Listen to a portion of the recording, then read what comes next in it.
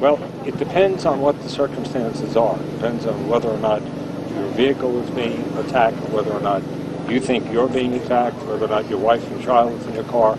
You have to look at the totality of the circumstances, and that's what we're doing.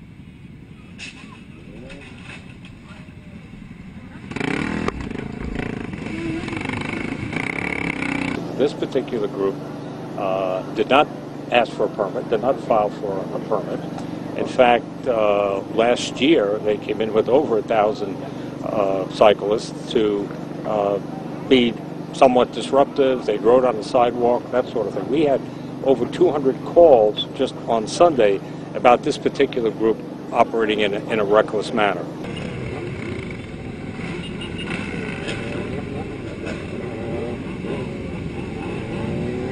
People come in with the apparent intent to be uh, disruptive.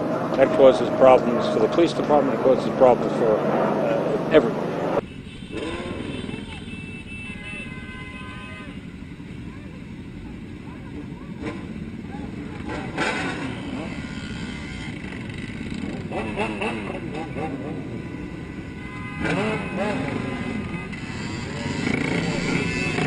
You know, their goal was to, in our judgment, go to Times Square and be disruptive. They never made it to, uh, to Times Square, but we were uh, certainly aware of their presence and we took, uh, I think, strong enforcement action.